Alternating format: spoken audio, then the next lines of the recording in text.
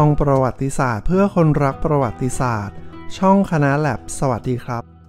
ตอน 5 จาก 17 คำถวายโอวาท แด่พระบาทสมเด็จพระจุลจอมเกล้าเจ้าอยู่หัวรัชกาลที่ 5 ตอนที่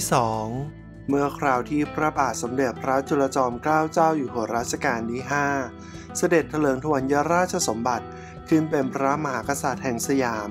ตั้งรัชสมัยแผ่นดินใหม่ขึ้น สันนิษฐานว่า เจ้าพระยาธิพากรวงศ์ได้ทูลเกล้าทูลกระหม่อมถวาย ซึ่งคำถวายโอวาทนี้ เปรียบเสมือนคำแนะนำในการบริหารราชการแผ่นดินสำหรับองค์พระมหากษัตริย์ในวรัชกาลใหม่ ซึ่งคำถวายโอวาทนี้ แสดงถึงเรื่องราวของยุคสมัย และยังแฝงด้วยวิธีการบริหารราชการแผ่นดิน ที่ประกอบด้วยหลักเหตุผล หลักการทางศาสนา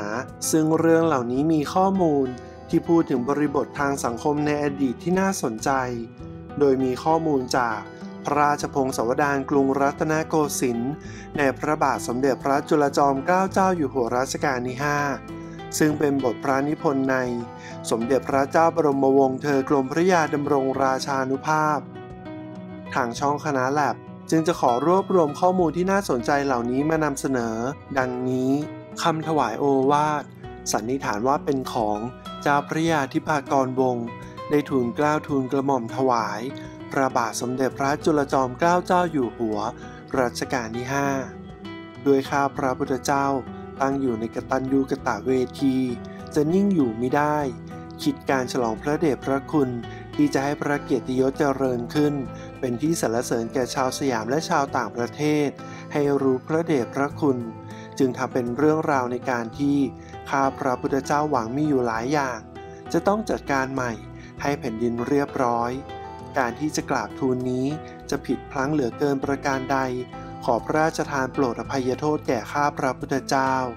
ตอนที่สองข้อที่ 4 พระราชวงศานุวงศ์ฝ่ายหน้าฝ่ายใน ผู้ใหญ่ผู้น้อย จะต้องทำนุบำรุงให้ได้ความสุขทั่วไป พระองค์ใดมีวิชาอย่างไรบ้าง ยังไม่ได้ทำราชการรับลี้อยู่ จะเป็นพระองค์เจ้าก็ดี หม่อมเจ้าก็ดี หม่อมราชวงศ์ก็ดี ที่เป็นช่างต่างๆ ขอให้สืบสอเอามาชุบเลี้ยงขึ้น จะได้มีน้ำใจทำราชการ เพื่อฉลองพระเดชพระคุณ ดีกว่าเอาคนป่าป่าเถื่อนๆมาชุบเลี้ยงข้อที่ 5 พระวงศานุวงศ์และข้าราชการผู้ใดที่ซื่อตรงก็ต้องชุบเลี้ยงขึ้น ผู้ใดที่เป็นคนพาล ถึงมีวาสนาอยู่แล้วก็ต้องกำจัดเสีย ถ้าจะกำจัดคนพาและผู้กระทำผิด ก็ต้องให้ท่านทั้งหลาย เห็นความผิดให้พร้อมกันก่อน จึงกระทำโทษลง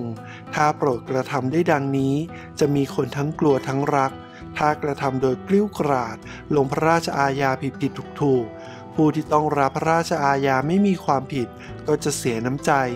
ผู้ที่ยังไม่ได้รับพระราชอาญา ก็จะพากันนินทาต่างๆ จะมีแต่ความกลัว ความรักนั้นน้อย ทรงตัดสินข้อคดีสิ่งใด ให้ถือเอายุติธรรม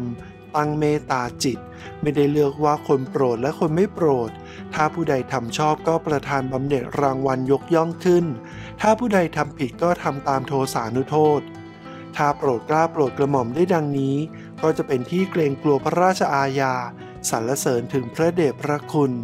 ข้อที่ 6 พระเจ้าน้องยาเธอ ที่ได้รับพระราชทานวัง วังก็ยังคงค้างอยู่ จะต้องทำนุบำรุง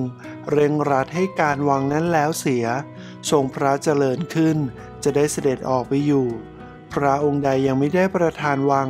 ต่อไปภายหน้าสมควรที่จะออกวังแล้ว ก็จะต้องประทานให้เหมือนเหมือนกันทำดังนี้ก็เป็นการสงเคราะห์ญาติอย่างหนึ่ง จะได้พากันคิดถึงพระเดชพระคุณ จะได้ตั้งใจทำราชการโดยพักดี ข้อที่ 7 ตัวข้าราชการฝ่ายใน ถ้ามีอำนาจมักจะรับสินบนต่างๆ บ่าวไพร่เกี่ยวข้องด้วยถ้อยความ ก็หักหาในการงานแปรปรวนไป คนต่างประเทศเขาก็นินทา ถ้าพวกฝ่ายในจะเข้ามารบกวนในใต้ฝ่าลองทุลีพระบาท ครั้นไม่ได้สมความปรารถนาก็จะโกรธ ถ้าจะโปรดตามใจ ก็จะเสียฉบับธรรมเนียมแผ่นดินไป จะแก้ได้อยู่อย่างหนึ่ง คืออ้างว่า จะเอาเรื่องราวให้ท่านเสนาบดีปรึกษาก่อน ท่านเห็นอย่างไรก็จะได้ทำตาม ถ้าอ้างอย่างนี้ก็จะเกรงพระราชอาญาเข้าเมรู้ที่จะโกรธเอาผู้ใดได้ การที่รบกวนในพระเดชพระคุณก็จะน้อยลง และข้อสุดท้ายในวันนี้ ข้อที่ 8 เงินภาษีอากรที่ขึ้นในตำแหน่งราชการหลายกรมนั้น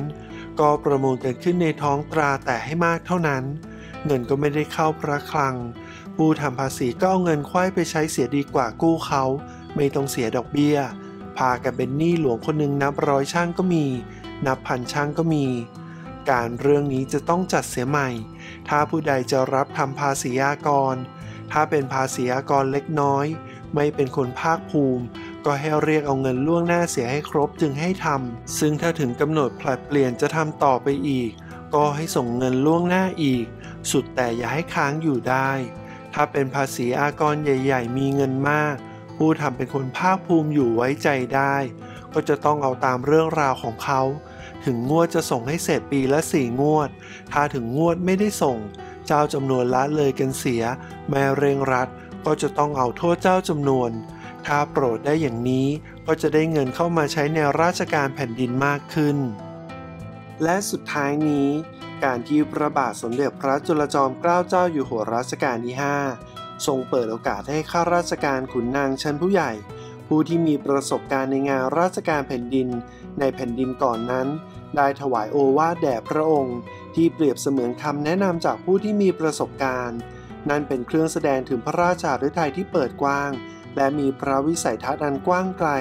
ในพระบาทสมเด็จพระจุลจอมเกล้าเจ้าอยู่หัวรัชกาลที่ 5 นั่นก็เพื่อการพัฒนาสยาม ให้ทัดเทียมนานาอารยประเทศ และโปรดติดตามคำถวายโอวาทข้ออื่นๆได้